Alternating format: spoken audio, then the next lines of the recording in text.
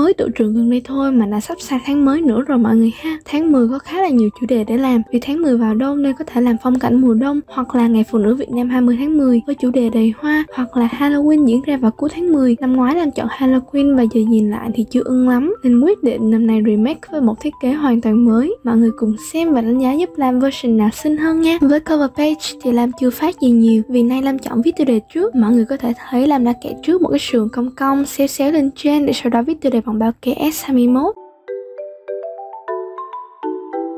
Sau đó Lam dùng bút chì để bo viền cách ra một khoảng như vậy. Dùng chì là bởi vì Lam chỉ muốn đánh dấu chứ không muốn vẽ cố định nó. Chiếc khuôn viền này sẽ giúp cho Lam biết được chỗ nào là ranh giới để không bị vẽ đè lên trên. Mà lần này nha, Lam chọn vẽ các họa tiết đuôi đồ có cả mắt, mũi, miệng và tí cảm xúc luôn cho nó dễ thương. Chồng chéo lên nhau, chen chút lẫn nhau Nhưng miễn là thấy được rõ hình dáng của mỗi vật. Màu sắc lần này Lam sử dụng cho bullet journal là hoàn toàn lấy từ bộ pha và bên 20 màu pastel đó. Chủ yếu tông màu của Halloween sẽ là đen cam Nhưng bên cạnh đó Lam sẽ lấy thêm chút vàng nâu, hồng nâu và vàng pastel nữa để bổ trợ. Đen thì lam thay bằng màu xám. Thật ra là sẽ có một chút màu xanh lá nhạt cho cuốn lá của quả bí. Một chút thôi nên vẫn ok mà ha.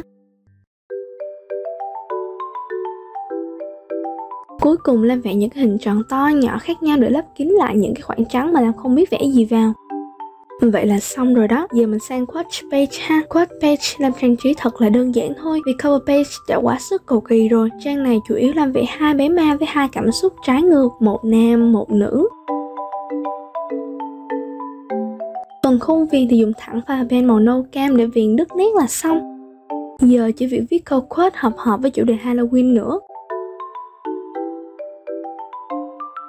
Xong hai trang rồi nè, sang layout tiếp theo là layout lịch tháng nha. Phần tiêu đề thì Lam vẫn dùng lại kiểu của cover page thôi, vẽ xéo xéo. Còn lại xung quanh tiêu đề và cả góc dưới của trang thì Lam trang trí bằng hình vẽ dễ thương như ban nãy. Chỉ cần thay đổi biểu cảm, cách bố cục là có thể tạo nên một layout xinh rồi đó. Mà Lam chưa tô màu đâu, Lam chuyển sang kể lịch trước. Kiểu Lam nhớ từ hồi vài tháng trước Lam áp dụng vẽ kiểu cách ô như vậy nè. Giờ Lam thấy ưng cái bụng quá nên cứ dùng hoài luôn. Giờ thì Lam còn tạo được cái thước thần thánh như này đây. Vẽ ô vuông hơi bị lẹ.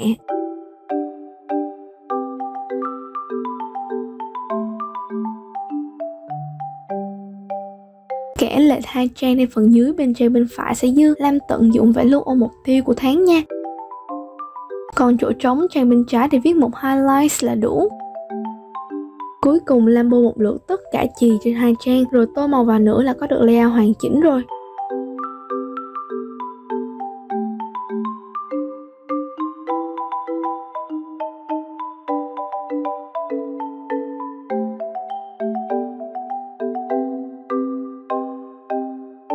Chưa? Khúc cuối Lam nhận ra bên phải hơi thiếu mà cũng không đủ lớn để vẽ hình nên làm vẽ hai đường sóng vào. Cuối cùng là một chút bling bling là ok. Layout thứ ba, Mood Tracker và Habit Tracker. 3D nghĩ lại, làm quyết định dùng tiêu đề vào góc giữa và ở dưới để sau khi viết tiêu đề bằng brush xong thì làm có thể vẽ các hình ảnh con vật và xung quanh. Cũng gom lại một chỗ luôn, khá là dễ.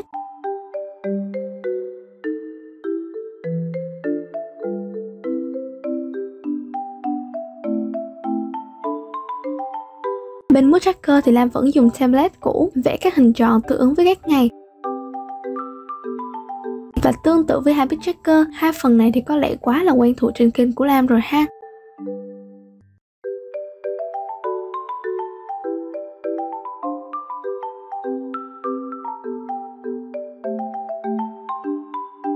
Trang trí phía dưới thôi thì khá là lệch nên làm cố gắng vẽ thêm các dải cầu vòng cách điệu cho đều nhau Cuối cùng mới là bôi phần chì và mình tô màu lên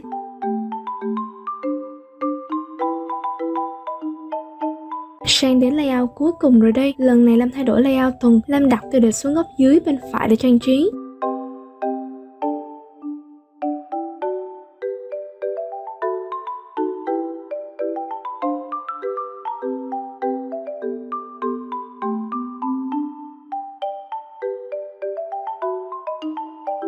Sau đó các ngày thì Lam rải đều sang hai bên cho đủ bảy Layout sẽ là layout ngang. Ô lớn làm chia thành hai phần, phần nhỏ nằm gần gáy sổ sẽ tô màu lên và lát nữa viết tên thứ vào, phần còn lại để tụi mình plan ra thôi.